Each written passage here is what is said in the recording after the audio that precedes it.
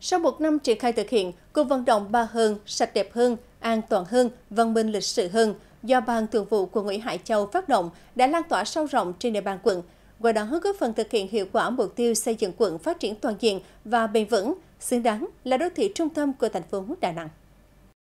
Để giúp môi trường thông thoáng, cải thiện bữa ăn, đảm bảo an toàn thực phẩm, các chị em trong chi hội phụ nữ 17 đã cùng nhau xây dựng và hiện thực hóa mô hình trồng rau xanh và cây ăn quả tại nhà độc đáo như thế này. Với không gian nhỏ hẹp, chưa đến một mét vuông, gia đình chị Thu đã sử dụng các thùng xốp để trồng rau, rau cải, rau càng cua và đặc biệt là ổi. Con hẻm này khá nhỏ và nhiều nhà san sát nhau, do đó có một vườn cây xanh trên sân thượng sẽ giúp điều hòa không khí trong lành và mát mẻ hơn.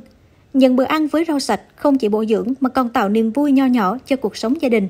thông qua việc chăm sóc cây trồng. Mục đích cải thiện được môi trường vệ sinh. Nếu như gia đình nào mà có điều kiện thì nên trồng rau xanh tại nhà, tăng cái thu nhập cũng như là cái rau để cho cải thiện đời sống cho anh em, bà con, con cháu trong gia đình.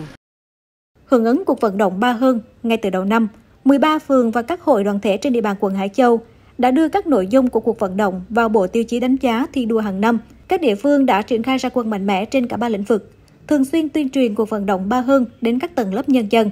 nhất là các nội dung như giữ gìn vệ sinh môi trường ở khu dân cư, phân loại rác thải tại nguồn, văn minh trong tiệc cưới, việc tang, xây dựng gia đình hạnh phúc, không có bạo lực tệ nạn xã hội.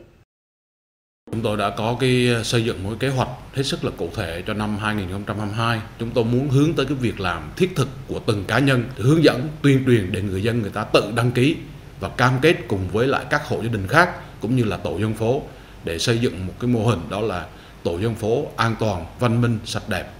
Ngoài ra, các phường còn xây dựng văn hóa cán bộ công chức với quan điểm đạo đức của cán bộ công chức, sự xuất sắc trong công việc và tận tụy trong phục vụ nhân dân là giá trị cốt lõi cho mọi hoạt động hành chính của Ủy ban Nhân dân phường. Đồng thời huy động sự tham gia của cả hệ thống chính trị từ phường đến khu dân cư, của các cơ quan, đơn vị doanh nghiệp đứng chân trên địa bàn. Các phong trào, các mô hình về xây dựng nếp sống văn hóa văn minh đô thị gắn với cuộc vận động Ba Hơn tại quận Hải Châu đã thực sự tạo chuyển biến rõ nét trong nhận thức của cán bộ hội viên và quần chúng nhân dân trên địa bàn.